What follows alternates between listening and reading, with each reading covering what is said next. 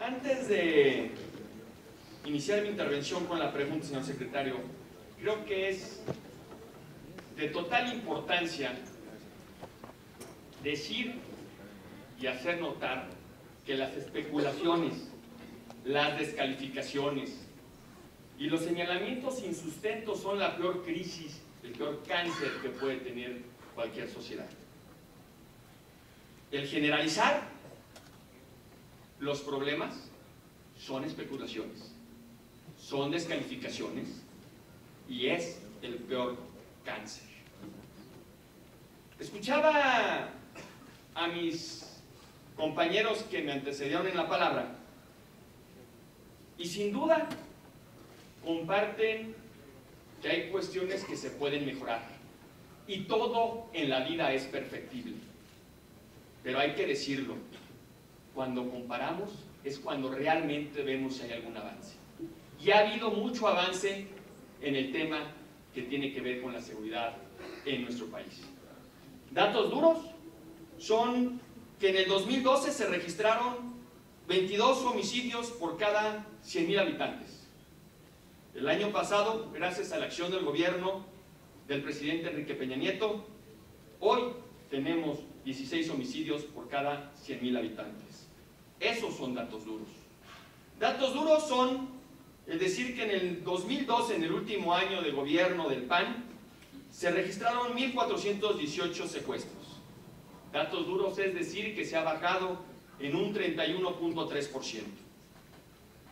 Datos duros es decir que en el 2014 los homicidios dolosos en la región del noroeste de nuestro país, en comparación del último año, han bajado un 51.8.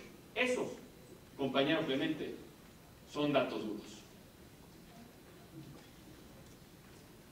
Señor secretario, muchas gracias por estar aquí. Hace justamente un mes, los mexicanos conmemoramos 30 años del terremoto de 1985, que dejó al descubierto la precariedad institucional y la vulnerabilidad de México ante fenómenos tan destructivos como este. Han pasado tres décadas, señor secretario, y un año con año en diversas regiones del país la población vive con zozobra ante el riesgo de inundaciones por huracanes, derrumbes e incendios forestales y por supuesto de terremotos. Y lo peor, para la gente y para los gobiernos locales había sido por años la respuesta tardía para atender estas emergencias. Lamentablemente, por su ubicación geográfica, nuestro país está expuesto irremediablemente a las fuerzas de los fenómenos naturales. Ante esta realidad, proteger la vida e integrar integridad de las personas debe ser una prioridad para todo gobierno. Algo que con beneplácito hemos visto que se está haciendo con el gobierno del presidente Peña. Es cierto que después del terremoto del 85 se han avanzado en responder mejor ante los fenómenos naturales, pero es hasta ahora cuando vemos que el tema de protección civil se eleva en la política del Estado.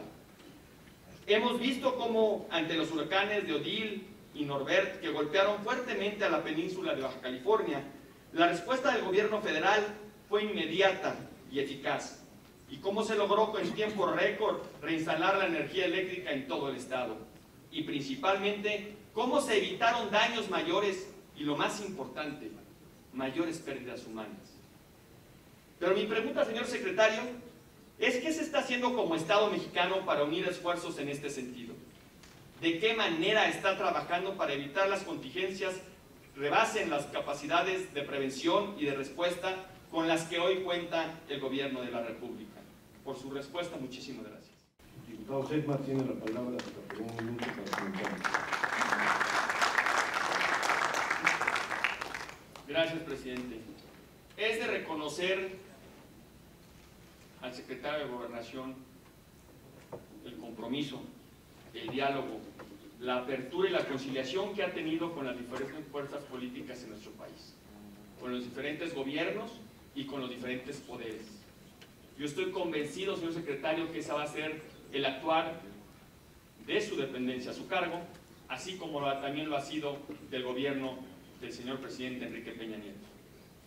En nosotros está poderle dar las facultades necesarias y las herramientas que se necesitan a las dependencias para que puedan realmente hacer su trabajo.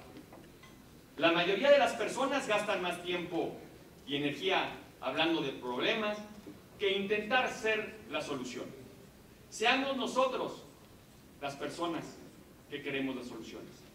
Dejemos los problemas y las descalificaciones y abonemos como es nuestro compromiso para que México salga adelante y para poder garantizarle la seguridad a nuestro país.